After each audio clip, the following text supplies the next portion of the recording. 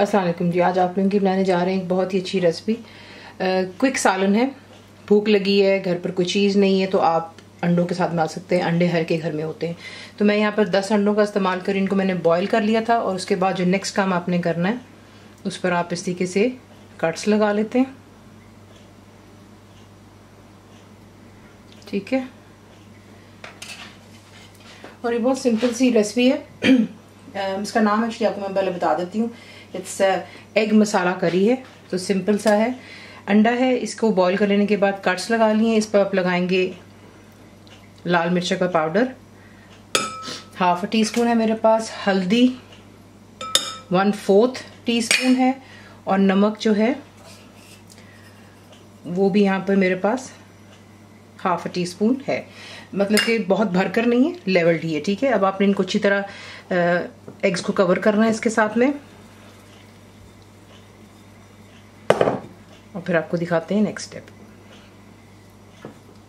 मुकम्मल लिखी हुई रेसिपी के लिए YouTube की वीडियो के नीचे चेक करें या फिर वीडियो के ऊपर लिंक को चेक करें जो कि आपको सीधे मेरे website cook with dot net पर ले जाएगा। अब आप एक कढ़ाई लेंगे और उसमें आप तेल गरम करेंगे।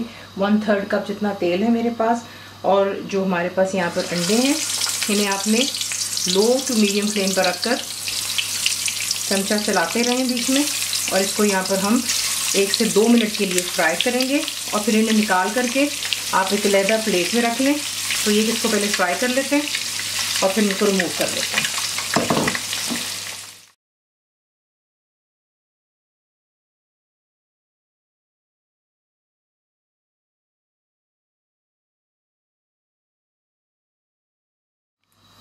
जिस तेल में हमने अंडे फ्राई किए थे, उसी में उसकी बाकी की कुकिंग भी करेंगे। तो अब आप इसमें डालेंगे वन टीस्पून भरकर ज़ीरा है। हरी मिर्च बीच में जाएँगी दो अदद। मैंने इनको फाइनली चॉप कर लिया था। प्याज आप इसमें डालेंगे दो दरमियाने साइज़ की। इसे ग्राइंड कर लें इनकी पेस्ट आप देखेंगे ये बहुत जल्दी रेसिपी तैयार होती है और इसका जायका भी बहुत ही अच्छा आता है। अदरक लहसुन का पेस्ट आएगा वन टेबल स्पून फ्लेम को हाई पर रखेंगे। और यहाँ पर जो है हमने इसको इतना फ्राई करना है। प्याज वगैरह को ताकि जो है इसका अच्छा सा कच्चापन ख़त्म हो जाए। और हल्का सा इसका कलर भी जो है, आप देखेंगे कि चेंज हो जाता है।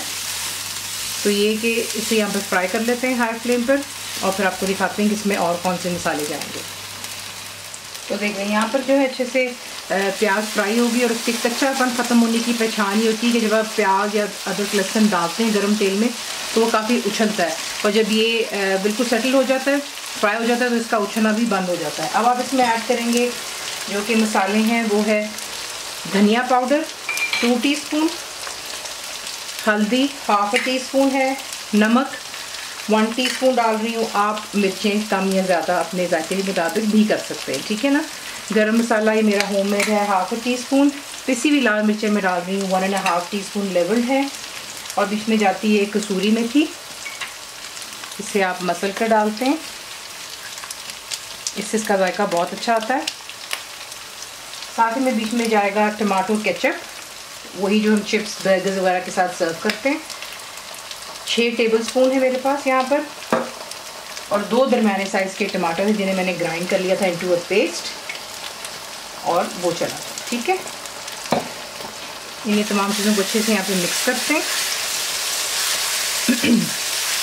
और हाई फ्लेम पर इस मसाले को यहाँ पर थोड़ा सा भूनेंगे, एक से दो मिनट के लिए, चमचा चलाते हैं ताकि कुछ से लगे ना, और उसके बाद आपको दिखाते हैं नेक्स्ट अब इसमें जो है ऐड करेंगे पानी।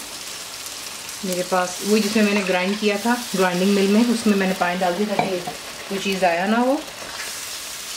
तकरीबन एक गिलास इतना पानी है उसमें। इसको अच्छे से मिक्स करते हैं और फिर आप इसे कवर करेंगे और लो टू मीडियम पर रखकर बिल्कुल इसको आप पकने दें ताकि जो इसमें जितने भी मसाले हैं, वो पक जाएँ और कोई चीज़ बीच में जो है मसाले, मिर्ची वगैरह कच्ची ना रह जाए। तो लो टू मीडियम कर लें या बेशक लो पर कुक कर लें, जिस तरह आपका दिल चाहे। तो एक इसको यहाँ पर कुक कर लेते हैं कवर करके। और फिर आपको दिखाते हैं नेक्स्ट तो ये देख लें यहाँ पे जो इसका मसाला तैयार हो गया, तेल सरफेस पर आ रहा है, ठीक है? और ये देख लें कितना गाढ़ा इसका मसाला बनता है।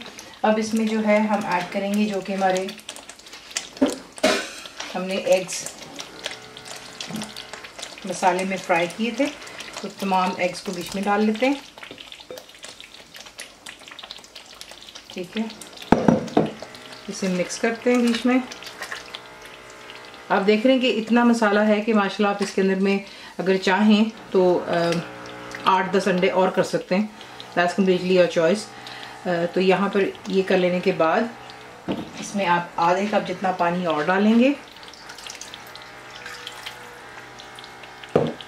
इसे कवर कर दें और मीडियम फ्लेम पर लो टू मीडियम पर रखकर इसको तीन से चार मिनट मज़ीद और देंगे ताकि ये जो पानी है, ये अच्छे से दोबारा खुश्क हो जाए, तेल सरफेस पर आ जाए। और उसमें यह है कि जो मसाले हैं, वो अच्छे से जो अंडे के कट्स हैं, उस तक जो है अंदर तक चले जाते हैं। तो ये कि इसको यहाँ पर थोड़ा सा कुक कर लेते हैं और फिर आपको दिखाते हैं। तो ये देख लें, यहाँ पर जो है अंडा मसाला बिल्कुल तैयार हो चुका है। देखने कितना गाढ़ा इसका मसाला बनता है, ये बहुत ही मज़ा बनता है अगर आप चाहें। तो देख लें, मसाले में कितनी बरकत है। आप इसमें छः सात अंडे बॉईल कर कर दोबारा जो है बीच में डाल सकते हैं। अब यहाँ पर मैं डालूँगी दो तीन यूँ ही सब हरी मिर्चें जाएँगी। थोड़ा सा हरा धनिया डालेंगे। इसे मिक्स करते हैं अच्छी तरह और फिर इसे करते हैं डिश इस तरीके से आप बनाते हैं। ये बहुत ही मज़ेदार बनता है। आप ट्राई करके देखिएगा। और इसको आप सर्व अगर आप चाहें, चावलों के शौकीन है तो आप इसको चावलों के साथ में भी खा सकते हैं। कोई हार्ड एंड फास्ट रूल नहीं कि आप चावल नहीं खा सकते। पराठे के साथ खाइए, रोटी के साथ खाएँ, नान के साथ। या फिर जो पूरी पराठा होता है, उसका भी इसका बड़ा मज़ा आता है, ठीक है? तो रेसिपी आपको पसंद आती है तो प्लीज़ उसे लाइक शेयर और सब्सक्राइब ज़रूर किया करें। कंप्लीट रिटर्न रेसिपी इंग्लिश में आपको मिलती है, वो है मेरी वेबसाइट पे, जिसको फायजा डॉट नेट पर उम्मीद है आप लोगों ने मेरी ऐप भी डाउनलोड कर ली होगी, जो कि फ्री है। तो ज़रूर बनाइएगा आप, आपको कैसा लगा? तो हमें याद रखें and thank you for watching the video मेरे चैनल को सब्सक्राइब करें बेल आइकॉन का बटन दबाएँ। मेक श्योर कीजिएगा कि ऑल भी प्रेस कर दीजिएगा। ताकि आप लोगों को मेरी लेटेस्ट वीडियोज़ रिसीव हो जाएँ।